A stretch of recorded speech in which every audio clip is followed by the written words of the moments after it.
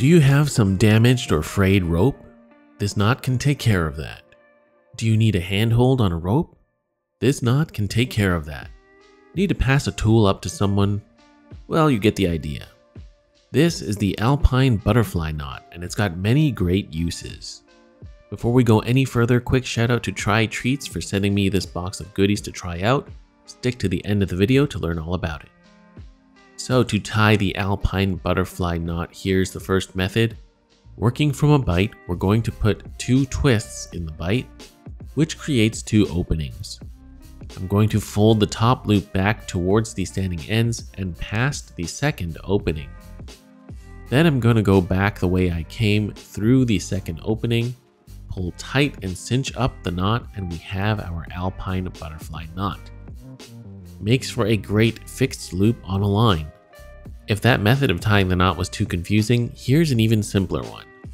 I'm going to wrap the paracord around my left hand twice. Then I'm going to go under the first cord on the right and grab the middle cord and bring it to the right underneath the right cord then bring it over to the left of the two cords, and finally under the two cords back to the right side. We can now pull the knot shut and cinch it closed, and we have our alpine butterfly knot again.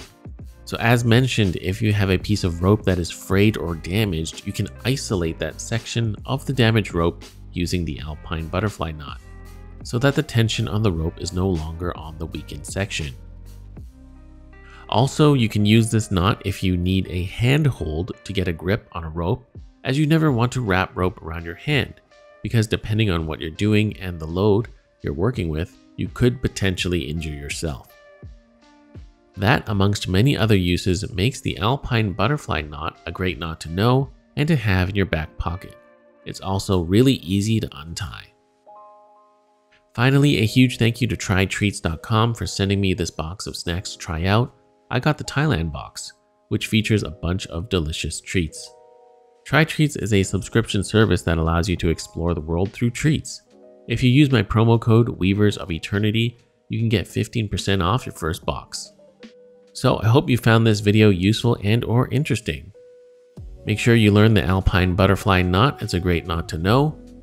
And after learning it, I'm sure the next time you have some damage rope, you will not be afraid.